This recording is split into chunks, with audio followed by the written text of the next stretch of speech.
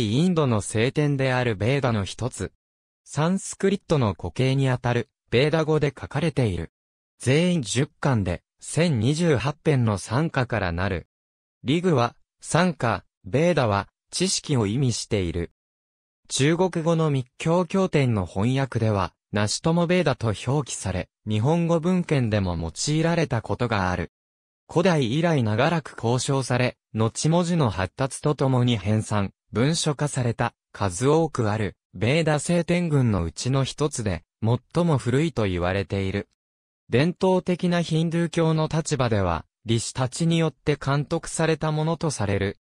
中央アジアの遊牧民であった、インドアーリア人がインドに侵入した、紀元前18世紀頃にまで遡る歌読みを含む。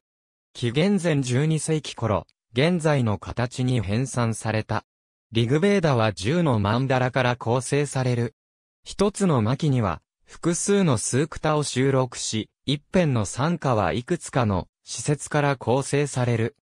リグベーダの特定の施設を引用する場合は、マンダラの番号、そのマンダラ内での数クタの投資番号、施設番号の3つの数字を通常用いる。現存するリグベーダは、ホイを含めて1028編の参加から構成される。一つの参加を構成する施設の数は3から58まで多様であるが、10から12施設を超えるものは稀である。主なベーダの韻律には、トリシュトゥブ、ガーヤトリー、ジャガティがあり、この3種類だけで全体の約8割に達する。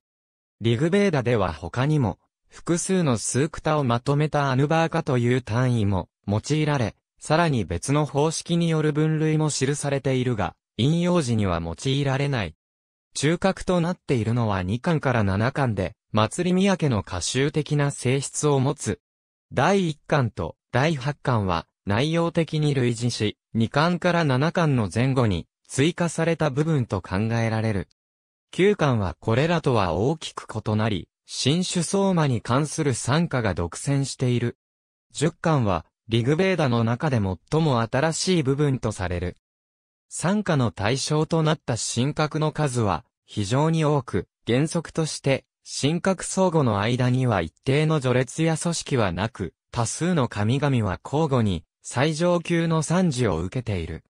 しかし、他方で、リグベーダの終末期には、宇宙創造に関する讃歌、ナーサッド・アーシーティヤ讃歌を持つに至り、ウパニシャッド哲学の萌芽とも言うべき、帰一思想が断片的に散在している。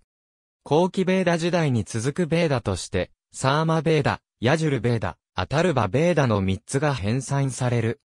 付属文献として、ブラーフマナ、アーラニアカ、ウパニシャッドが表された。ありがとうございます。